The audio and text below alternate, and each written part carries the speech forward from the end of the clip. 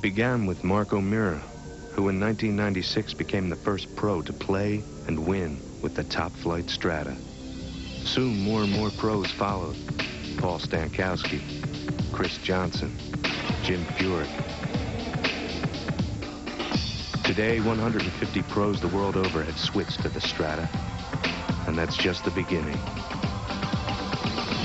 We're going to need a bigger green.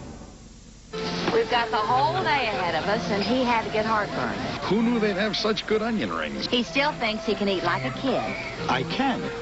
I just pay for it. So I told him, would it hurt to take Tagamet with you? Good idea, because Tagamet is fast and it lasts. Tagamet is proven to start reducing stomach acid faster than Pepcid AC. And unlike regular antacids like Mylanta, Tagamet lasts for hours and hours. He never listens. Now I don't have to. With Tagamet, you can eat like a kid again. Having taught the game for years, I've seen every mistake imaginable in the golf swing. Like picking the club straight up, overswinging, and the deadly outside-in slice swing. That's why I recommend the Great Big Bertha tungsten titanium irons to my students. They're so forgiving. Even if your swing isn't perfect, you can still hit great shots. And that means they not only make the game easier to play, they even make it easier to teach. And I'm all for that.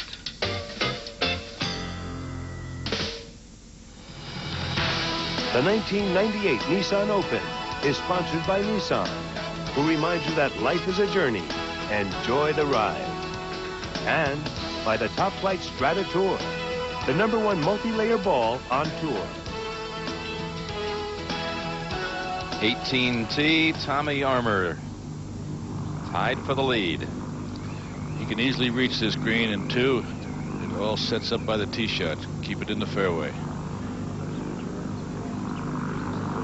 Driving the ball well all day.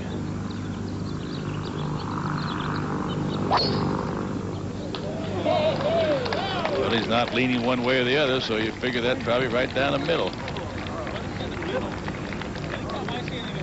Excellent drive. Up ahead, Scott Hoch, to hit his third shot out of a divot.